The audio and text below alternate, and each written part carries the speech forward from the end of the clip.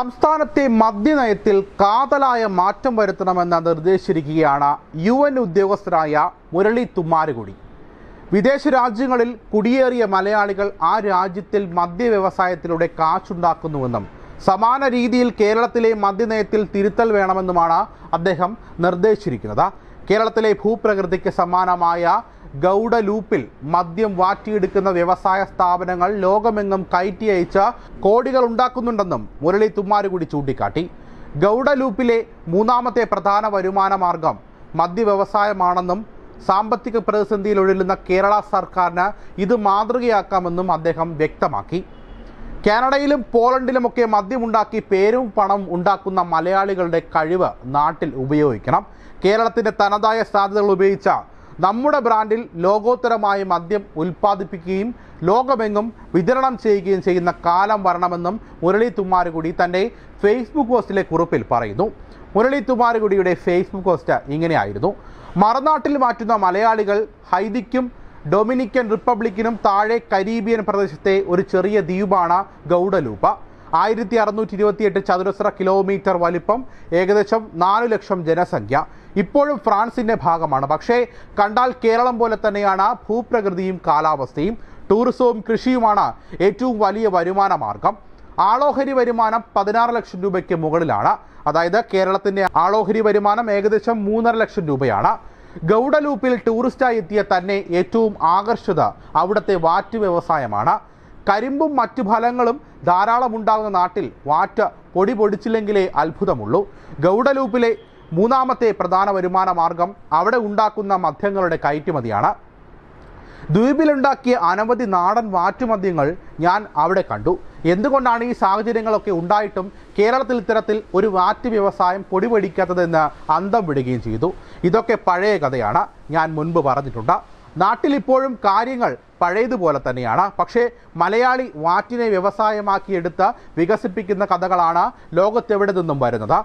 കാനഡയിൽ മലയാളി വികസിപ്പിച്ച മന്ദാഗിനി നാടൻ വാറ്റ പോളണ്ടിൽ മലയാളി ഉൽപ്പാദിപ്പിക്കുന്ന മലയാളി ബിയർ കേരളത്തിൽ നിന്നും ജാതിക്കാത്തൊണ്ട് കാനഡയിൽ എത്തിച്ച് വോട്ട് ഉണ്ടാക്കി വിൽക്കുന്ന മലയാളി. ഇനിയും അറിയാത്ത കഥകൾ വേറെയും ഉണ്ടാകും. തീർന്നില്ല. ഇംഗ്ലണ്ടിൽ കള്ളുഷാപ്പ് നടത്തുന്ന മലയാളിയെ കഴിഞ്ഞ ആഴ്ച പരിചയപ്പെട്ടു. നാട്ടിൽ നിന്നും ആവശ്യത്തിന് നല്ല ഗുണമുള്ള കള്ള് കിട്ടാത്തതിനാൽ ആഫ്രിക്കയിൽ നിന്നാണ് അവർ യു കെയിൽ കള്ളെത്തിക്കുന്നത് എന്ന് കേട്ട് അന്തം വിട്ടു ഓസ്ട്രേലിയയിൽ ഡാർവിനിൽ പ്രധാനപ്പെട്ട പബ്ബ് നടത്തുന്ന മലയാളിയെ പറ്റി കേട്ടു. കാണാൻ പറ്റിയില്ല. എന്തുകൊണ്ടാണ് കാനഡയിലും പോളണ്ടിലും മദ്യമുണ്ടാക്കി പേരും പണവും ഉണ്ടാക്കുന്ന മലയാളിയുടെ കഴിവ് നാട്ടിൽ ഉപയോഗിക്കാൻ നമുക്ക് സാധിക്കാത്തത്?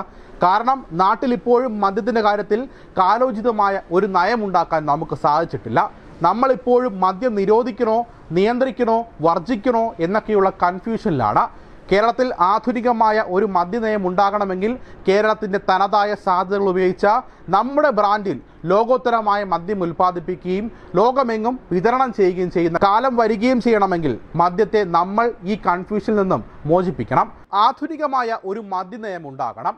അതുപോലെ ഏത് നയമുണ്ടായാലും ഇന്നത്തെ എക്സൈസ് ഡിപ്പാർട്ട്മെന്റ് പോലുള്ള സംവിധാനമാണ് ഉള്ളതെങ്കിൽ അത് വിജയിക്കില്ല എന്നും ഉറപ്പാണ്. കാരണം മദ്യവ്യവസായത്തിൽ നിൽക്കുന്നവരെ സാമൂഹ്യ വിരുദ്ധരായും അഴിമതിക്കുള്ള കറവ പശുക്കളായും കാണുന്ന എക്സൈസ് സംവിധാനമാണ് ഇന്നുള്ളത്. അതിനെ റീഫോം ചെയ്യാൻ കഴിയുമെന്നൊരു ചിന്ത എനിക്കില്ല. സത്യത്തിൽ ഈ നൂറ്റാണ്ടിലെ വെല്ലുവിളികൾ നേരിടാനുള്ള അറിവോ സംവിധാനങ്ങളോ ഇപ്പോൾ അവർക്കില്ല. പഴയ നൂറ്റാണ്ടിലെ ആശയങ്ങളും പരിശീലനവും ഉപകരണങ്ങളുമായി ഈ നൂറ്റാണ്ടിലെ വെല്ലുവിളികൾ നേരിടാൻ കഴിയില്ല. നമ്മുടെ എക്സൈസ് ഡിപ്പാർട്ട്മെന്റ് എന്ന സംവിധാനം പിരിച്ചുവിട്ട ആധുനികവും കാലാനുസൃതവുമായ ഒരു ഡ്രഗ് മാനേജ്മെന്റ് സംവിധാനമാണ് നമുക്ക് ഉണ്ടാക്കേണ്ടത്. സംസ്ഥാനം മുൻപൊന്നുമില്ലാത്ത സാമ്പത്തിക പ്രതിസന്ധിയിലാണെന്ന് എല്ലാവരും അംഗീകരിക്കുന്നുണ്ട്. നെവർ വേസ്റ്റ് എ ക്രൈസിസ് എന്ന ഒരു ചൊല്ലുണ്ട്. മദ്യത്തിന്റെ ഉൽപ്പാദന രംഗത്തും വിപണന രംഗത്തും എല്ലാം നമ്മുടെ സാധ്യതകളെ ഉപയോഗിക്കാനുള്ള ഒരു അവസരം കൂടിയായി ഈ ക്രൈസിസിനെ കാണണം. ഇന്ന് ലോകത്ത് മറ്റു ഭാഗങ്ങളിൽ ഈ രംഗത്തേർപ്പെട്ടിരിക്കുന്ന മലയാളികളെ നാട്ടിൽ വിളിച്ചു വരുത്തി അവരുടെ അനുഭവങ്ങളും നിർദ്ദേശങ്ങളും ആ നാട്ടിൽ എക്സൈസ് സംവിധാനം എങ്ങനെ പ്രവർത്തിക്കുന്നു അവിടുത്തെ കൃഷി വ്യവസായ നയങ്ങൾ എങ്ങനെ അവരെ സഹായിക്കുന്നു എന്നൊക്കെ മനസ്സിലാക്കുന്നതും നന്നാകും.